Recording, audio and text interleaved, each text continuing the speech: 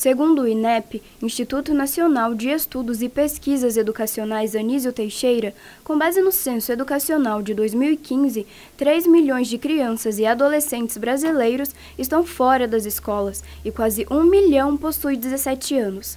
Na cidade de Jacareí, o número de matrículas entre alunos de 14 e 17 anos também cai, confirmando a evasão escolar. Então, na verdade, é, a evasão escolar no período é, do ensino médio, né, na, nesse tipo de ensino, ela é uma situação que não é característica só do município de Jacareí.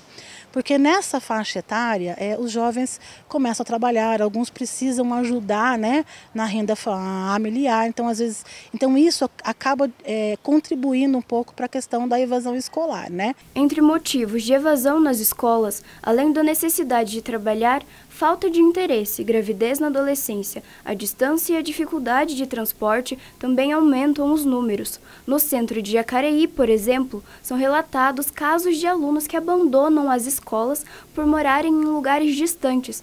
Por esse motivo, a escola professora Laura Augusta de Carvalho Rosas, situada no bairro Parateí do Meio, na zona rural do município, é um exemplo de como combater a evasão escolar. Exatamente, é, era muito distante, não tinha como eles assim irem todos os dias. Mesmo tendo transporte, ficava muito difícil essa locomoção.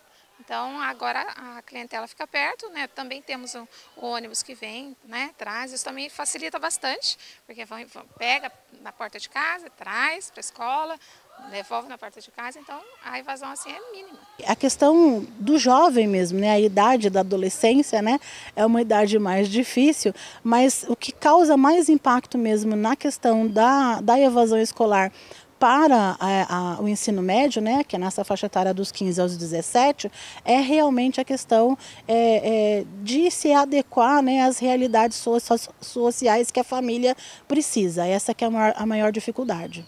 Além disso, a diretora do Centro de Informações da Diretoria de Ensino de Jacareí, Daniela Paulucci, explica que os alunos são recuperados através do projeto Buscativa. A Secretaria de Estado da Educação ela tem um projeto chamado Buscativa, que na verdade a gente está atrás dos jovens entre 15 e 17 anos que estão fora da escola. Existe um chamado né, para que esse jovem venha para a escola, termine a sua escolarização e ele volte a estudar. Não importa em qual série ele parou, se ele precisar de diurno, de noturno. A gente também tem a educação de jovens e adultos, né, que é a EJA. O pessoal antigamente é, costumava chamar de supletivo. Né? Então, a educação de jovens e adultos ela também serve para esse jovem que parou de estudar há muito tempo, para que ele volte e consiga terminar a escolarização é, é, e adequar melhor ao seu horário de trabalho, né? Então a gente está pronto para recebê-los e a gente quer que esses jovens voltem para a escola. Esse é o objetivo do Buscativa. Eu tenho é, a frequência dos alunos de todos os dias. Então, quando eu vejo que um aluno está faltando, por exemplo, dois, por exemplo, ele faltou dois dias, eu já corro atrás, eu vou saber o que, que aconteceu, por que, que eles estão faltando, sabe? E eu já tento, é, é, já mando tem notificações, já mando para eles virem para a escola, o que está acontecendo, a gente corre atrás. Então eles vêm muitas vezes, eles falam, nossa, mas eu faltei só um dia, a senhora já está mandando. Daí eu falo assim, não, porque a sua presença na escola para a gente é, faz muita falta, a gente precisa de vocês na escola.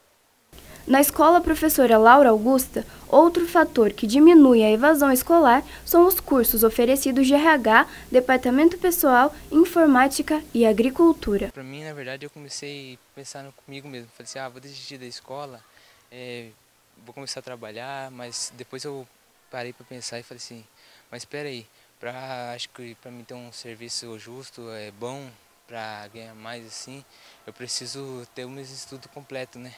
Aí eu falei assim, então vou voltar. Ah, eu tava, tava cansado já, que eu vim na escola só pra bagunçar. Aí eu falei que nem ia vir mais. Aí a Eliane foi. não quis deixar eu parar. Aí por causa dela também, dos meus pais, eu continuei estudando.